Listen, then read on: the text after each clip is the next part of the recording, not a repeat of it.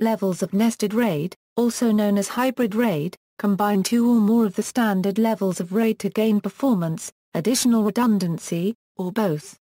RAID 0 plus 1 RAID 0 plus 1 is a RAID level used for both replicating and sharing data among disks. RAID 0 plus 1 is a mirror of stripes. The usable capacity of a RAID 0 plus 1 array is the same as a RAID 1 array, where half of the total capacity is used to mirror the other half, where is the total number of drives and is the capacity of the smallest drive in the array. RAID 1 plus 0 RAID 1 plus 0, sometimes called RAID 1 and 0 or RAID 10, is similar to a RAID 0 plus 1 with exception that the RAID levels used are Revocida Euro RAID 10 as a stripe of mirrors.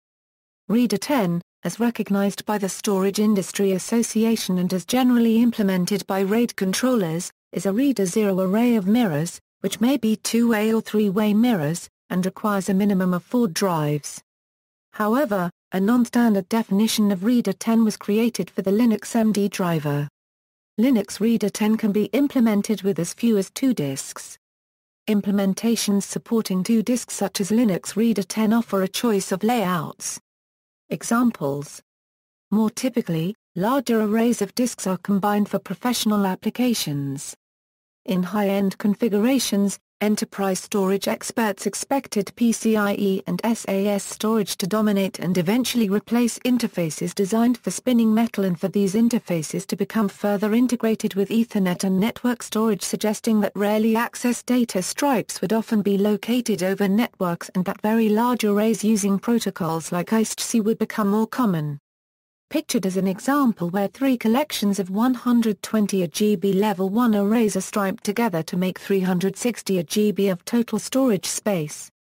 Performance According to manufacturer specifications and official independent benchmarks, in most cases RAID 10 provides better throughput and latency than all other RAID levels except RAID 0.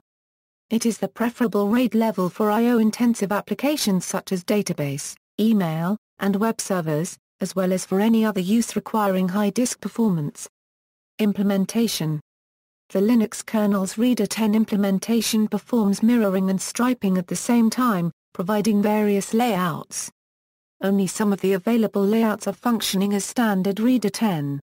RAID 100 RAID 100, sometimes also called RAID 10 plus 0, is a stripe of RAID 10s. This is logically equivalent to a wider RAID 10 array, but is generally implemented using software RAID 0 over hardware RAID 10. Being striped two ways, RAID 100 is described as a plaid RAID. RAID 50 RAID 50 combines the straight block level striping of RAID 0 with the distributed parity of RAID 5. This is a RAID 0 array striped across RAID 5 elements. It requires at least six drives. On the left is an example where three collections of 120 GB RAID 5s are striped together to make 720 GB of total storage space, one drive from each of the RAID 5 sets could fail without loss of data. However, if the failed drive is not replaced, the remaining drives in that set then become a single point of failure for the entire array. If one of those drives fails, all data stored in the entire array is lost. The time spent in recovery represents a period of vulnerability to the RAID set. In the example below, data sets may be striped across both RAID sets. A data set with five blocks would have three blocks written to the first RAID set, and the next two blocks written to RAID set 2. The configuration of the RAID sets will impact the overall fault tolerance. A construction of three 7-drive RAID 5 sets has higher capacity and storage efficiency but can only tolerate three maximum potential drive failures. Because the reliability of the system depends on quick replacement of the bad drive so the array can rebuild, it is common to construct three 6-drive RAID 5 sets each with a hot spare that can immediately start rebuilding the array on failure. This does not address the issue that the array is put under maximum strain reading every bit to rebuild the array precisely at the time when it is most vulnerable. A construction of seven 3-drive RAID 5 sets can handle up to seven drive failures, if they are in different RAID 5 sets, but has lower capacity and storage efficiency. RAID 50 improves upon the performance of RAID 5 particularly during writes, and provides better fault tolerance than a single RAID level does. This level is recommended for applications that require high fault tolerance, capacity and random positioning performance. As the number of drives in a RAID set increases, and the capacity of the drives increase, this impacts the fault recovery time correspondingly as the interval for rebuilding the RAID set increases. RAID 53 RAID 53 is typically used as a name for RAID 30 or 0 plus 3.